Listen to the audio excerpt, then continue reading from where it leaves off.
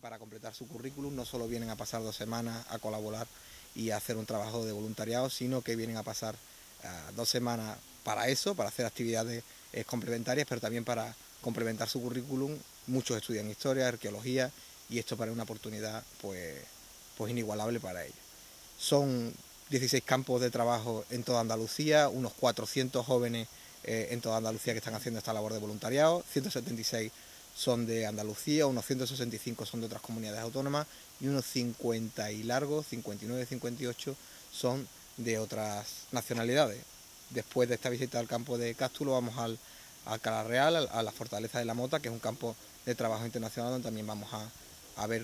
y a visitar qué trabajo están haciendo los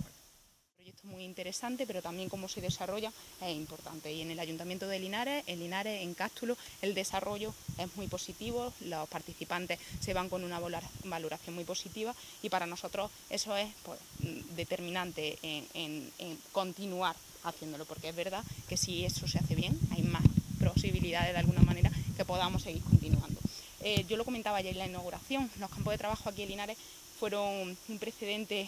importantísimo para, el trabajo en Cástulo. Cástulo y los campos de trabajo han ido de la mano durante 11 años, pero además que para Cástulo es muy importante los campos de trabajo porque cuando no había muchos proyectos aquí, cuando antes de que, de que hubiese pues todo el boom de los proyectos de investigación, los campos de trabajo ya estaban haciendo aquí una labor muy importante. Es decir, los jóvenes que venían de otras comunidades autónomas ya estaban empapándose de lo que era la cultura linarense y de lo que era la cultura del yacimiento arqueológico de Cástulo. Así que para nosotros, para el Ayuntamiento de Linares y para el área de juventud, un área que,